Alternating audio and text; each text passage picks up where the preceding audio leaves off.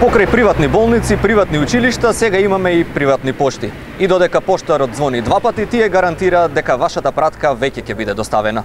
Кога времето е пари, сите се трудиме што помалку да потрошиме. Една од поновите иновации за заштеда на нашето време и пари е така наречената приватна пошта, односно приватните курирски служби. Се попопуларни кај граѓаните, овие доставувачи на пратки нудат брзина, гаранција за навремена достава, па дури и пониски цени од редовната поштенска достава. Ги има најразлични. Некои действуваат само локално, некои низ целата држава, а има и такви кои пратките ги доставуваат ширум светот. Заедничка им е гаранцијата за брза и навремена достава купувајќи искуства од европските држави во кои што овој бизнис е развиен од многу порано, дадовме на идеја да почнеме да работиме превоз, тоа е поштенски превоз и карго превоз низ територијата на цела Република Македонија.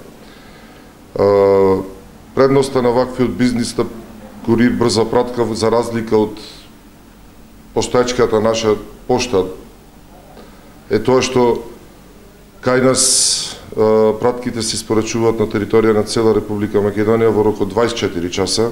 Гарантираме за сите пратки кои што, што се донесени кај нас дека ќе бидат навремено испорачани, односно дека не може да доди до до гинење на пратките, до оштетување на пратките, за разлика од искуства кои што сигурно сме ги виделе, сме ги читали, сме ги осетиле на своја кожа дека доста од пратките кои што се праќаат по пошта се гинат, не можат да се пронајдат.